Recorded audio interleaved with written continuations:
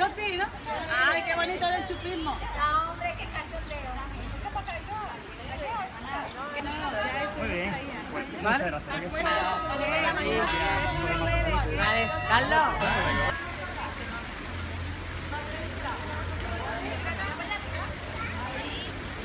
Nada grito, ¿no?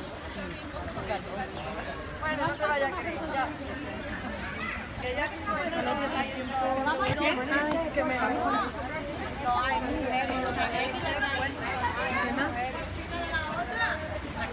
Pues estamos aquí reuniéndonos en esta manifestación una vez más para ver si la Chivas, donde no hay mujeres, como ya se sabe que es el único puerto donde no hay mujeres, habiendo 2.000 hombres dentro, pues lo que esperamos es que se abra la oportunidad a las mujeres para poder trabajar y así se incorporen las mujeres en este sector. Eh, también queríamos comunicar que, como se ha sabido en estos días, el Instituto Andaluz de la Mujer ha contestado y van a investigar esta discriminación que hay en las venir esta gente.